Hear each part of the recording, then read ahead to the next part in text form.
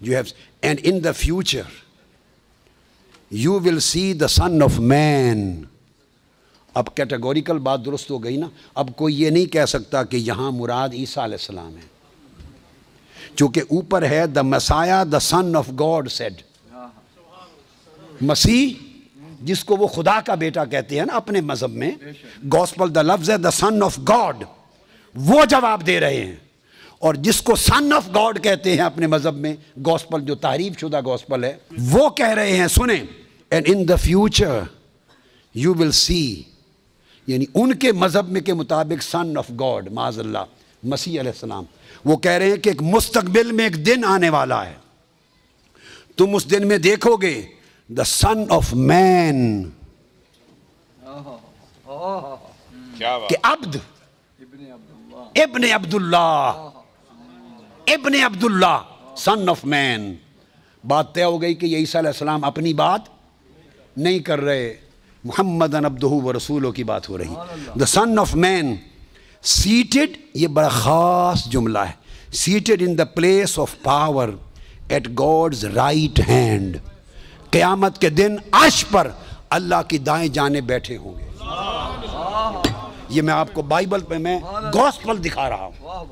ये गॉस्पल पढ़ के सुना रहा हूँ कि क़्यामत के दिन वो इबन अब्दुल्ला, वो आखिरी रसूल, अर्श इलाही पर in the place of God's power Allah के अर्श पर ही would be seated on the right hand of God Allah की दाएँ तरफ़ उनको सीट कुर्सी दी जाएगी बैठने की।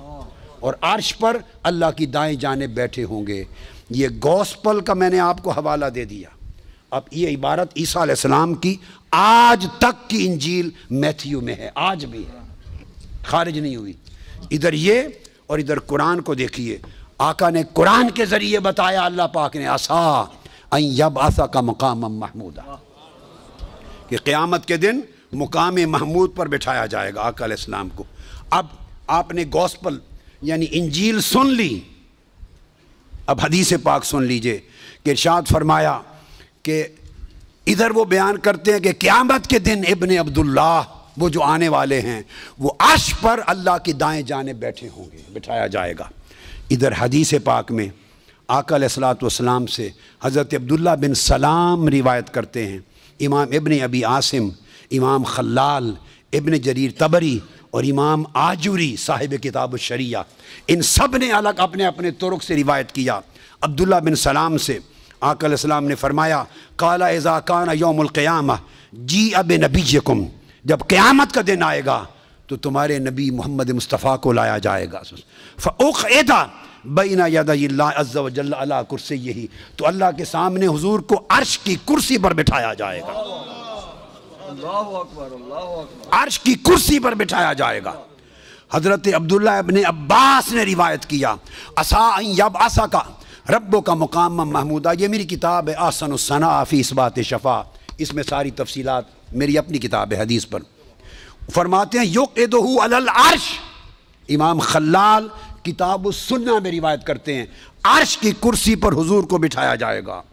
अब्दुल्ला इबन उमर रिवायत करते हैं, असा यब आसा का रब्बो का मकाम महमूदा युजले सुनी माहू शरीर अल्लाह पाक मुझे अपने साथ कुर्सी पर नशस्त पर अर्श पर बिठाएगा।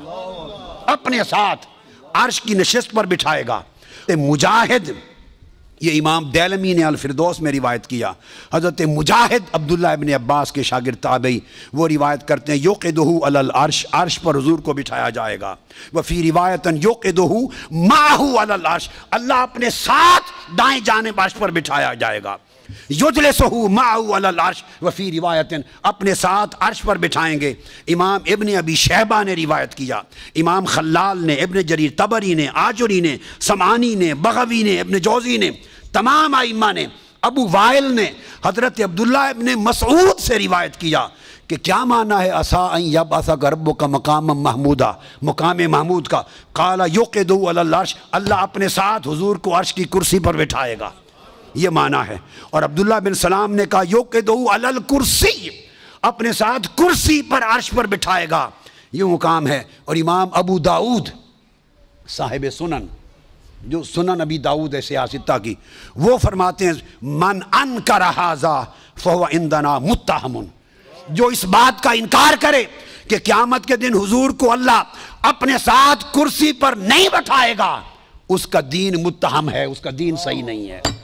उसका ईमान सही नहीं है। या अबू दाऊद रिवायत करते हैं।